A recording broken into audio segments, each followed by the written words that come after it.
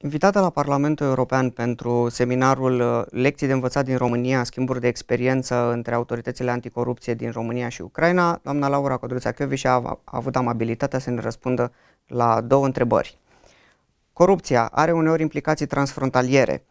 Ce măsuri ar putea îmbunătăți acțiunile de descoperire și instrumentare a cazurilor la nivelul Uniunii Europene?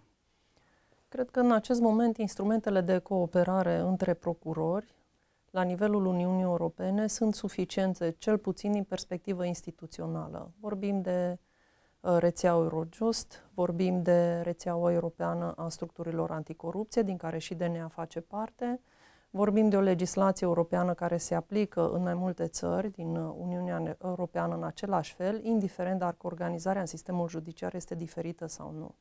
Cred că un dialog mai consolidat și mai frecvent între procurori ar duce la ușurarea activităților noastre. Uh, de foarte multe ori simțim nevoia în activitatea noastră să dublăm aceste instrumente de cooperare și cu o comunicare efectivă și cu un contact personal. Pentru că în activitățile noastre de foarte multe ori avem răspunsuri, avem nevoie de răspunsuri foarte rapide și în timp real. Vedeți, inculpații nu sunt uh, limitați în activitățile lor infracționale nici de frontiere, nici de timp, nici de proceduri pe care trebuie să le respecte. Și atunci circulația persoanelor, circulația banilor este extrem de rapidă și la fel trebuie să fie și circulația între comunicările uh, noastre. Și din experiența dumneavoastră, cooperarea între procurori la nivelul Uniunii Europene, mai ales în ceea ce privește asigurarea dovezilor sau identificarea acestora, funcționează la un nivel care permite o luptă eficientă împotriva corupției? Da, în acest uh, moment comunicarea și cooperarea cu colegii din celelalte țări membre ale Uniunii Europene este la un nivel foarte bun.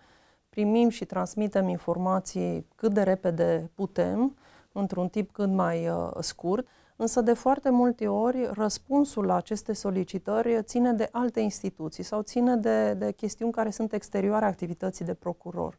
Să vă dau un exemplu. Atunci când solicităm, spre exemplu, informații despre anumite tranzacții bancare sau tranzacții financiare și colegii noștri din celelalte țări trebuie să apeleze la alte instituții care au alte reguli, alte proceduri uh, și este des, uneori este destul de dificil să primim răspunsurile într-un timp uh, scurt. Avem situații în care primim răspunsuri foarte repede, în câteva zile, dar avem și situații în care răspunsuri, limitat fiind de aceste proceduri interne ale țării căreia ne adresăm, durează uneori câteva luni. Probabil că înființarea parchetului european va fi un răspuns la toate aceste provocări și toate procedurile vor fi mult mai rapide și mult mai utile. Mulțumesc pentru intervenție. Mulțumesc.